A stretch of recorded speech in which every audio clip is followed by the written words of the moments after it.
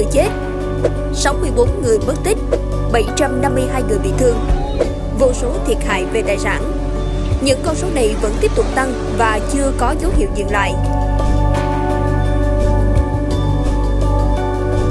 Hoàn lưu cơn bão số 3 vẫn đang tiếp tục gây thiệt hại nặng nề về người và tài sản tại nhiều địa phương miền Bắc. Theo thống kê thiệt hại do bão lũ tính đến 13 giờ ngày 10 tháng 9 năm 2024, bão số 3 và Hoàng lưu bão số 3 đã khiến 146 người chết mất tích, trong đó có 82 người chết, 64 người mất tích.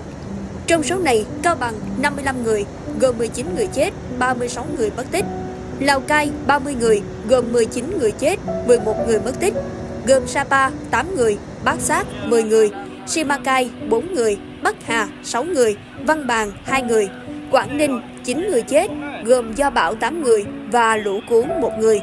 Hải Phòng 2 người chết do bão, Hải Dương 1 người chết do bão, Hà Nội 1 người chết do bão.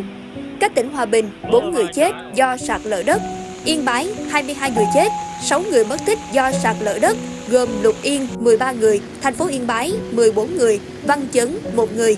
Lạng Sơn 2 người chết do lũ cuốn, sạt lở đất, Bắc Giang 1 người mất tích do lũ cuốn, Tuyên Quang hai người mất tích do lũ cuốn, Hà Giang một người chết, một người mất tích do lũ cuốn, Lai Châu một người chết do sạt lở, Phú Thọ 8 người mất tích do sự cố sập cầu Phong Châu. Số người bị thương lên đến 752 người, trong đó Quảng Ninh 536 người, Hải Phòng 81 người, Hải Dương 5 người, Hà Nội 10 người, Bắc Giang 5 người, Bắc Ninh 52 người, Lạng Sơn 10 người, Lào Cai 14 người, Yên Bái 10 người, Cao Bằng 12 người, Phú Thọ 5 người, Bắc Cạn 1 người, Hòa Bình 1 người, Vĩnh Phúc 8 người, Thanh Hóa 2 người. Số liệu cũng phản ánh thiệt hại về nông nghiệp rất lớn, với hơn 148.000 hecta lúa bị ngập úng, thiệt hại. Trong đó Hải Phòng hơn 25.700 hecta, Thái Bình 11.000 hecta, Hà Nội hơn 15.500 hecta, Hưng Yên hơn 12.100 hecta, Hải Dương 18.500 hecta, Hà Nam hơn 7.900 hecta, Lạng Sơn gần 4.500 hecta, Bắc Giang hơn 14.900 hecta, Bắc Ninh hơn 9.800 hecta, Vĩnh Phúc hơn 8.800 hecta, Thái Nguyên hơn 3.500 hecta, Yên Bái hơn 2.600 hecta. Ngoài ra, hơn 26.100 hecta hoa màu bị ngập úng, 11.038 hecta cây ăn quả bị hư hại. 1.577 lồng bè nuôi trồng thủy sản bị hư hỏng, cuốn trôi. 1.111 con gia súc, 680.243 con gia cầm bị chết. Quảng Ninh, Hải Phòng, Thái Bình, Hải Dương, Hà Nội bị mất điện, mất liên lạc trên diện rộng. 12 đoạn đường dây 500 kV, 36 đường dây 220 kV, 173 đường dây 110 kV bị sự cố và 5.305 cột điện bị gãy đổ. Do thời gian lưu bão dài và duy trì cường độ gió bão, gió giật rất mạnh đã làm 48.337 nhà ở bị hư hỏng, trong đó Quảng Ninh hơn 20.200 nhà, Hải Phòng hơn 13.900 nhà, Bắc Ninh hơn 3.400 nhà, Lạng Sơn hơn 2.900 nhà. Nhiều cửa hàng, trụ sở, trường học bị tốc mái, hư hỏng, rất nhiều biển hiệu quảng cáo, cột viễn thông, trạm phát sóng di động bị gãy đổ, cây xanh đô thị bị bật gốc, đổ la liệt trên các tuyến đường tại Quảng Ninh, Hải Phòng, Hải Dương, Hà Nội. Đã qua ngày thứ ba bão số 3 tan, nhưng Hoàng Lưu vẫn tiếp tục gây thiệt hại vô cùng nặng nề cho các địa phương.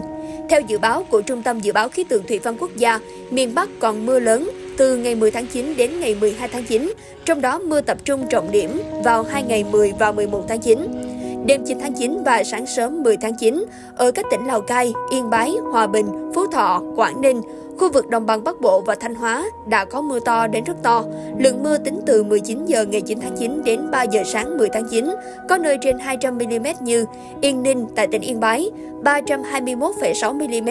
Đồng Tâm tại tỉnh Hòa Bình 272,8 mm, Hương Sơn tại thành phố Hà Nội 254,2 mm, Quang Trung tại tỉnh Nam Định 207,8 mm. Dự báo vùng núi và trung du miền Bắc trong ngày 10 tháng 9 có mưa vừa mưa to, có nơi mưa rất to và dông, với lượng mưa phổ biến từ 40 đến 80 mm,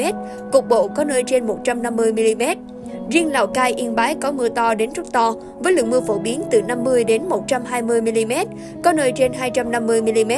Ngày và đêm 11 tháng 9 có mưa vừa mưa to, có nơi mưa rất to và dông, với lượng mưa phổ biến từ 30 đến 60 mm, có nơi trên 120 mm. Khu vực đồng bằng Bắc Bộ, Hòa Bình, Thanh Hóa và Nghệ An ngày 10 tháng 9 có mưa to đến rất to và rải rác có dông, với lượng mưa phổ biến từ 50 đến 120 mm, có nơi trên 300 mm. Ngày và đêm 11 tháng 9 có mưa vừa mưa to, có nơi mưa rất to và dông, với lượng mưa phổ biến từ 40 đến 90 mm, có nơi trên 200 mm. Cơ quan khí tượng cảnh báo, ngày và đêm 12 tháng 9, khu vực phía Nam đồng bằng Bắc Bộ và Bắc Trung Bộ có mưa vừa mưa to, có nơi mưa rất to và dông, với lượng mưa phổ biến từ 20 đến 60 mm, có nơi trên 100 mm. Báo Thanh niên sẽ tiếp tục cập nhật thông tin về tình hình mưa lũ trong các bản tin sau. Thưa quý vị, Bộ trưởng Bộ Nông nghiệp và Phát triển Nông thôn vừa có công điện gửi công ty Thủy điện Tuyên Quang và công ty Thủy điện Hòa Bình về việc đóng cửa xã đáy còn lại. Theo Bộ Nông nghiệp và Phát triển Nông thôn, lúc 10 giờ sáng 10 tháng 9 năm 2024, mực nước thượng lưu Hồ Hòa Bình ở cao trình hơn 111 m, lưu lượng đến hồ 4.115 m khối trên giây, lưu lượng xả hơn 5.500 m khối trên giây, mực nước thượng lưu hồ Tuyên Quang ở cao trình hơn 118 m, lưu lượng đến hồ hơn 4.300 m khối trên giây, lưu lượng xả hơn 5.000 m khối trên giây. Thực hiện quy trình vận hành liên hồ chứa trên lưu vực sông Hồng và bảo đảm công tác chỉ đạo, điều hành, phòng chống thiên tai trong thời gian kiện toàn cơ quan chỉ đạo, chỉ huy phòng thủ dân sự các cấp, Bộ trưởng Bộ Nông nghiệp và Phát triển Nông thôn lệnh 12 giờ trưa 10 tháng 9, Giám đốc công ty Thủy điện Hòa Bình đóng một cửa xả đáy hồ Thủy điện Hòa Bình và Giám đốc công ty Thủy điện Tuyên Quang đóng góp tiếp một cửa xả đáy hồ Thủy điện Tuyên Quang. Cũng trong sáng 10 tháng 9, Bộ trưởng Bộ Nông nghiệp và Phát triển Nông thôn ban hành công điện hỏa tốc gửi Ủy ban Nhân dân các tỉnh thành Hòa Bình, Tuyên Quang, Phú Thọ, Vĩnh Phúc, Hà Nội, Bắc Ninh, Hải Dương, Hải Phòng, Hưng Yên, Hà Nam, Thái Bình, Nam Định, Ninh Bình về việc đảm bảo an toàn hạ du khi vận hành hồ thủy điện Hòa Bình, Tuyên Quang. Để đảm bảo an toàn cho các công trình và các hoạt động ven sông, Bộ Nông nghiệp và Phát triển Nông thôn đề nghị Ủy ban Nhân dân các tỉnh thành thông báo đến các cấp chính quyền, người dân, các tổ chức có hoạt động trên sông, ven sông, biết thông tin để chủ động các biện pháp, bảo đảm an toàn và điều chỉnh hoạt động cho phù hợp, không để người dân đến những khu vực có nguy cơ sạt lở, công trình đang thi công, tránh những thiệt hại đáng tiếc. Do ảnh hưởng của hoàn lưu bão số 3 gây mưa lớn cho nhiều tỉnh, thành phố miền Bắc, đặc biệt là tại các tỉnh Trung Du và miền núi. Mưa lớn khiến mực nước tại nhiều hồ thủy điện, thủy lợi khu vực này lên nhanh trong các ngày 8 đến 9 tháng 9. Hai hồ thủy điện lớn nhất miền Bắc là Hòa Bình và Tuyên Quang đã được lệnh mở cửa xả đáy. Trước khi xả lũ, Bộ Nông nghiệp và Phát triển Nông thôn đã có văn bản chỉ đạo yêu cầu chính quyền các địa phương Tuyên Quang, Phú Thọ, Vĩnh Phúc, Hà Nội thông báo khẩn cấp đến các cơ sở, hộ nuôi trồng thủy sản, phương tiện vận tải đường thủy, ra soát đảm bảo an toàn các công trình đang thi công, chủ động các biện pháp ứng phó, bảo đảm an toàn về người và tài sản. Người dân tuyệt đối không ra sông vớt củi, đánh bắt cá khi nước lũ trên sông dâng cao. Những thông tin mới nhất liên quan đến tình hình lũ lụt, sạt lở ở các tỉnh thành miền Bắc sẽ được chúng tôi liên tục cập nhật trên các nền tảng của báo Thanh niên. Kính mời quý vị chú ý theo dõi.